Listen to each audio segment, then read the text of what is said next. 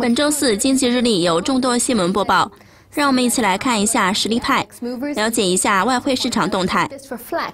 我是麦克德莫特。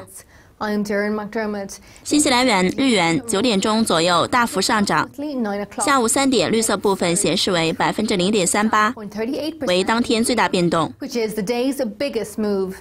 尽管中国制造业采购经理人指数的发布令人失望，新西兰元仍为八个主要货币中最看好货币。紧随瑞郎其后的是两大商品货币澳元和加元。服务业和采购经理人指数报告均下跌，但仍高出五十水平线。欧元位居表格下半部分。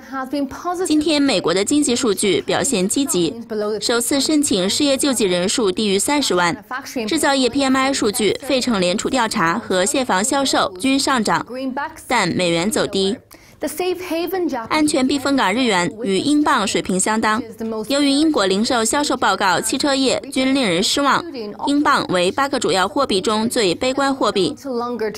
再来看一下长期图表，美元日元有最大单周上涨，共上涨百分之一点三一，而新西兰元美元有类似最大下跌。美元日元有最大月涨幅，积极区域显示为百分之二点二六。新西兰元美元有最大下跌，红色部分显示为百分之三点二。以上内容为本周四的实力派，明天将继续为您带来本周最后一次报告。再见。